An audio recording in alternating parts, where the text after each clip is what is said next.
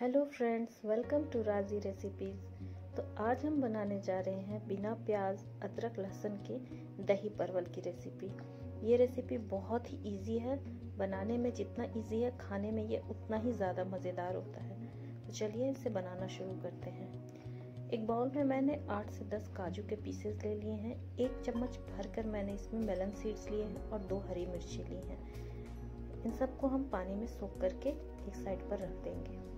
एक दूसरे बाउल में मैंने दो टीस्पून के करीब धनिया पाउडर लिया है, ज़ीरा पाउडर, वन टीस्पून, कश्मीरी मिर्च, वन टीस्पून, हल्दी, वन फोर्थ टीस्पून के करीब है, बिल्कुल थोड़ी सी हल्दी है। सॉल्ट मैंने लिया है, हाफ़ चम्मच के करीब, क्योंकि हम सॉल्ट बाद में भी यूज़ करेंगे।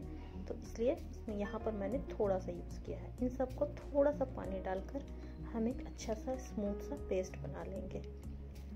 पेस्ट बनाने के बाद हम इसे एक साइड पर रखेंगे। इसे इसका यूज़ हम बाद में करेंगे।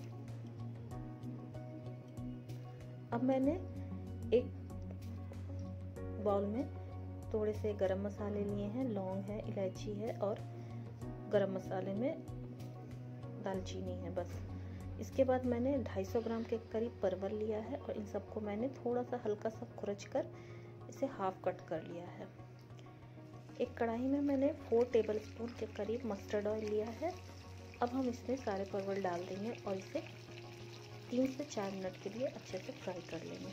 इसे बहुत ज़्यादा फ्राई नहीं करना है। इसमें मैंने थोड़ा सा नमक और थोड़ी सी हल्दी भी डाली है।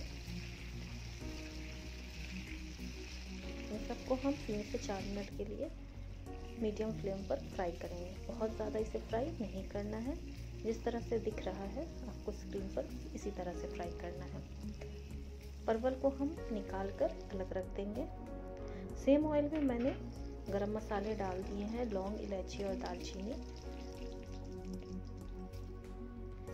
पाँच से दस सेकंड के बाद मैंने इसमें जो हमने मसालों का पेस्ट तैयार किया था, वो डाल देंगे और इसे हम 10 से 20 सेकंड के लिए अच्छे से भून लेंगे।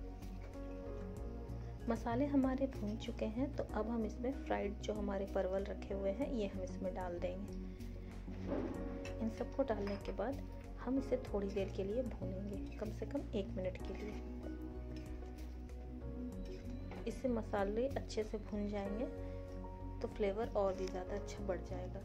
अब हम इसमें वन फोर्थ कप के करीब पानी डालेंगे ज़्यादा पानी इसमें नहीं डालना है।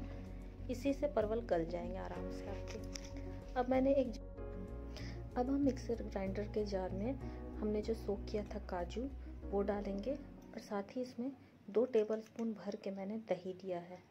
प्लेन दही लिया है, बहुत ज़्यादा खट्टी दही नहीं लेना है।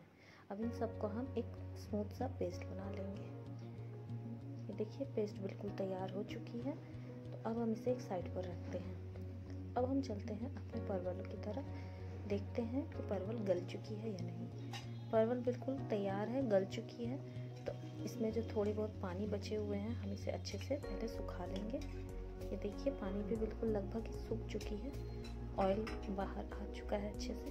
तो अब हम इसमें काजू का जो हमने पेस्ट तैयार किया है, वो हम इसमें डाल देंगे और इसे अच्छे से मिक्स कर लेंगे।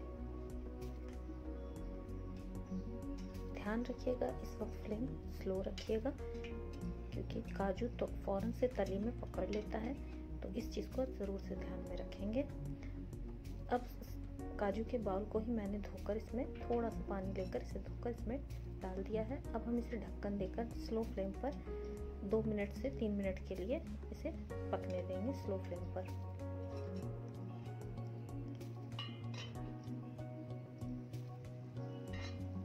तीन से चार मिनट हो चुके हैं।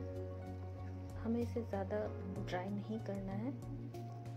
ये मैंने इसमें हाफ़ टी स्पून के करीब चीनी मिक्स किया है और इस ग्रेवी को हमें इतना ही रखना है क्योंकि थोड़ी देर ठंडा होने के बाद ये जो ग्रेवी है ये ठीक हो जाएगी। इसलिए अब हम इसे थोड़ी देर के लिए हाफ़ मिनट के लिए और दम देंगे। स्लो फ्लेम पर इसके बाद हम फ्लेम ऑफ़ कर देंगे। तो हमने इसे ढक्कन दे दिया है। हाफ़ मिनट के बाद ये देखिए ऑयल ऊपर आ चुका है। तो अब ये बिल्कुल तैयार है। तो हम करते हैं फ्लेम को ऑफ़ और इसे दो तीन मिनट का रेस्ट देंगे। इसके बाद हम इसे सर्व करेंगे। तीन से चार मिनट हो चुके हैं। तो अब हम इसे सर्व करते हैं। आप इसे रोटी या चावल के साथ सर्व कर सकते हैं। ये बहुत ही टेस्टी बनती है और बहुत ही हल्के मसाले में बनती है। इसलिए आप इसे हर एज के लोग आराम से खा सकते हैं। अगर आपको मेरी वीडियो अच्छी लगे, मेरी रेसिपी अच्छी लगे तो लाइक शेयर एंड सब्सक्राइब ज़रूर कीजिएगा और मुझे कमेंट करके ज़रूर बताइएगा कि आपको ये रेसिपी कैसी लगी।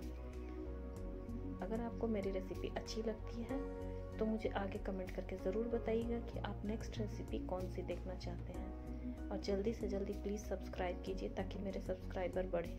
Thank you